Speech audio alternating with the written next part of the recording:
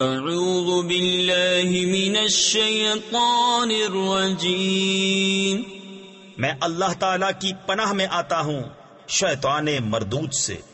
بسم اللہ الرحمن الرحیم. اللہ کے نام سے شروع جو نہایت مہربان رحم والا۔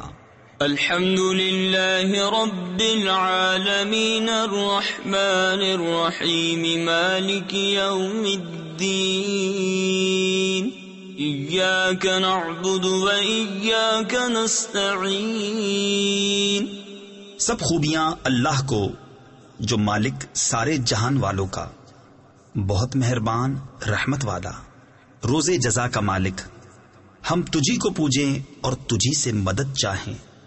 تفسیر خزائن العرفان میں ہے، اس میں یہ تعلیم فرمائی کہ مدد بال واسطہ ہو یا بلا واسطہ، ہر طرح اللہ تعالی کے ساتھ خاص ہے۔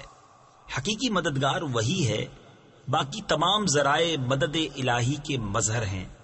اس سے یہ سمجھنا کہ اولیاء اور انبیاء سے مدد چاہنا شرک ہے، عقیدہ باطلہ ہے۔ کیونکہ مقربان حق کا مدد فرمانا اللہ عز و جل ہی کی مدد ہے، غیر سے مدد مانگنا نہیں۔ اهدنا الصراط المستقيم صراط الذين أنعمت عليهم غير المغضوب عليهم ولا الضالين.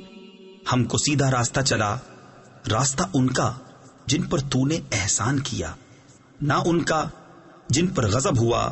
اور نہ بہکے ہوں کا۔